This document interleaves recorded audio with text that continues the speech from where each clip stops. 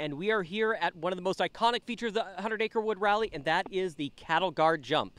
This has also been renamed Fetela's Crest. Why? Because he made an error a couple years ago and ended up landing wrong and flipping over his car up into the pasture off to the side there. Let's take a closer look at this thing. Competitors go flat out as they approach this thing. They're going to want to hug the right hand side because there is a turn off to the left right after the landing. This is some of the biggest air competitors will get all season is from this jump. But will they get big air this year? I don't know because there's a little bit of a challenge this time. If we come back around and look at the approach, normally they'd be flat out on this straight, smooth stretch. But no, there's a water feature now.